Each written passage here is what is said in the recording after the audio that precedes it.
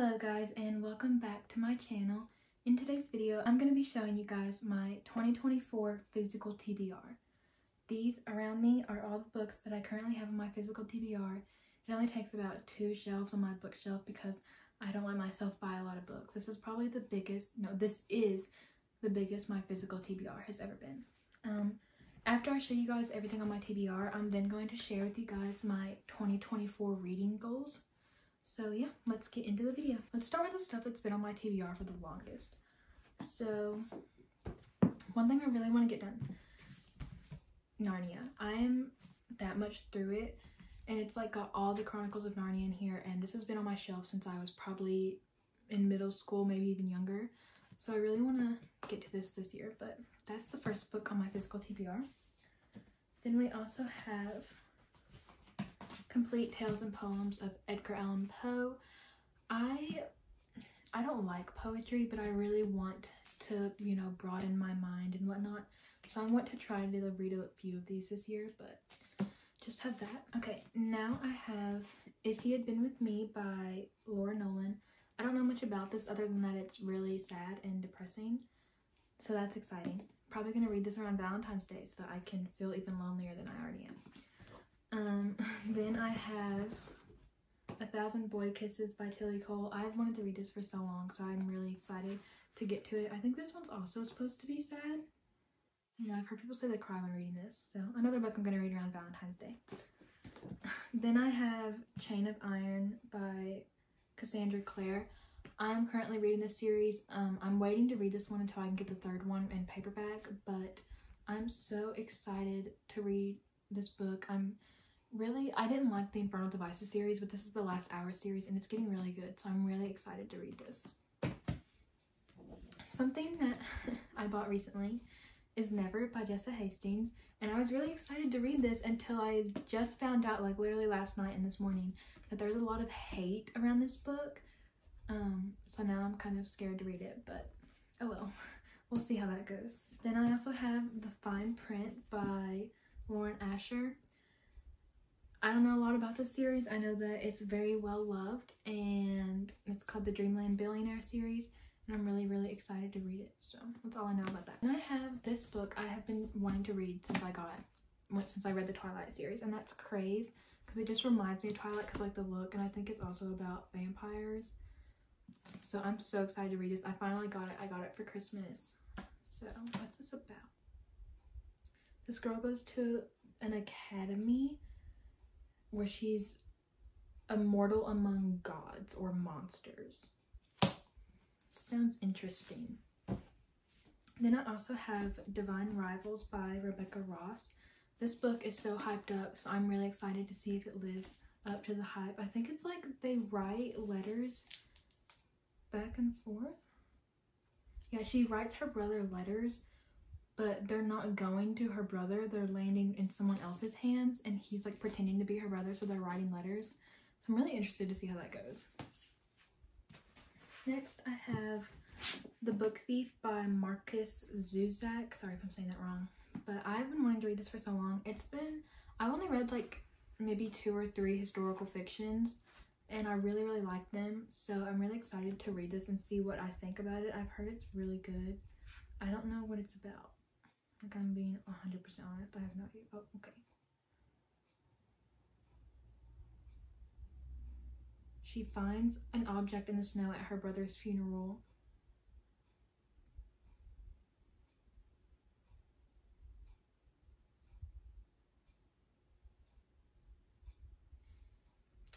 I guess she steals books.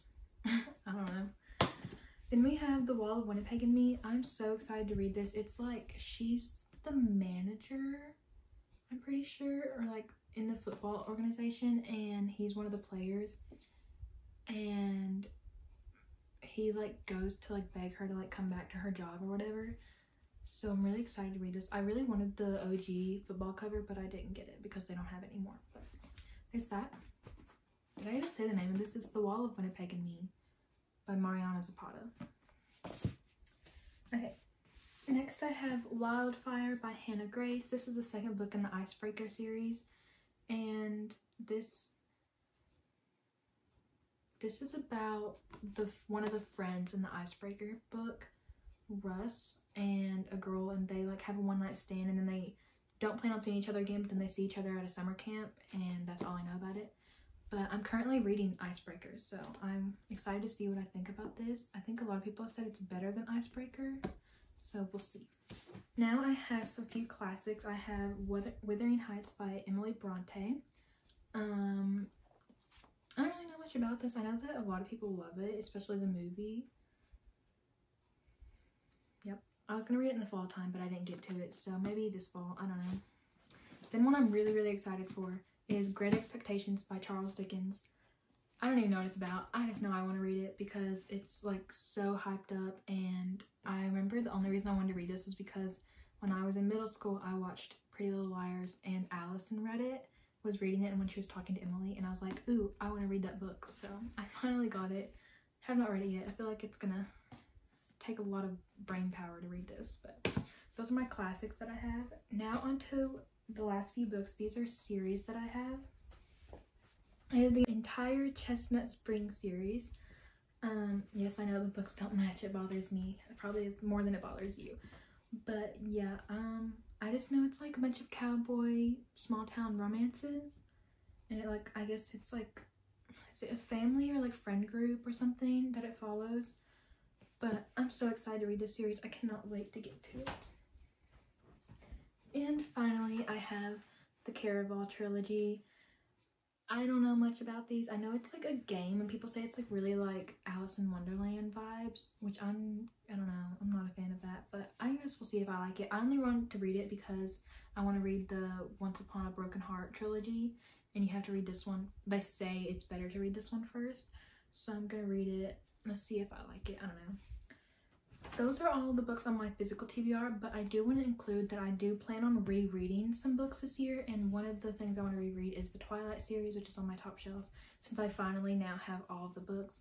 And I also really want to reread Hunger Games, because this is going to be really weird, but in middle school, when I read these books, my library only had Mockingjay, and I had I knew these movies backwards and forwards. Okay, I was obsessed with Hunger Games. I used to play Catching Fire in my mind when I went to bed because that's how well I knew it. Could play it scene by scene. But they only had Mockingjay, so I checked out Mockingjay. Then I checked out Catching Fire, and then I read The Hunger Games. So I read them backwards. so I'd really like to read them forwards um, and just be in that world again. I love those books so much, and I love the Twilight books, so I really want to reread those. But yeah, those are all the books on my physical TBR for this year. I am definitely on a book buying ban until my birthday in April. So let's see how much I can get done. Now let's talk about my reading goals for 2024. My first reading goal is to read everything that I just put in this video. Like I want to read all of these books by the end of the year, including the big Edgar Allan Poe Narnia. I don't know about the Edgar Allan Poe, but definitely the Narnia. Um, so I want to read all these books. I want to read a total of 50 books. So let me see how many's on this. I think there's like 21 or 22 books here, but that does not include however many is in Narnia because I really don't know how many books I have left in that. So I'm going to say roughly 30. Um, so obviously I'll have to buy some more books. and that's not counting the rereads either. So I don't know, we'll see. But I do want to read 50 books this year. I want to read two classics, which my goal is to be these two. Um, I want to finish Narnia. I want to reread Twilight and The Hunger Games. I want to read at least two Edgar Allan Poe stories from that book, which is why I'm like, I don't really want to include that with like my goal on my physical TBR to read all these because I know that I'm probably not going to get through that. I'll be lucky if I even do read the two stories. Um, I want to read one memoir. I'm not sure which one. I really want to read the Jennette McCurdy memoir, but it's just, I love those shows so much. So I feel like, and I still watch, you know, like iCarly and whatnot. So I feel like reading that is gonna like, I don't know, ruin it. And I'm like really scared to see what she went through. But I know people love it, so I definitely want to give it a try maybe. And I want to read The Summer I Turned Pretty this summer because I've been wanting to read that for like the past two summers and I haven't. So I definitely want to get to that this year. But yeah, I think that's it. Think that's all that I have on my physical TBR, and that's all the reading goals I have for this year. Um, not a lot, but just I ain't got time to make big goals like all these other booktubers do. Um, 50 books is already pushing it because my goal for 2023 was 30 and I only read 41.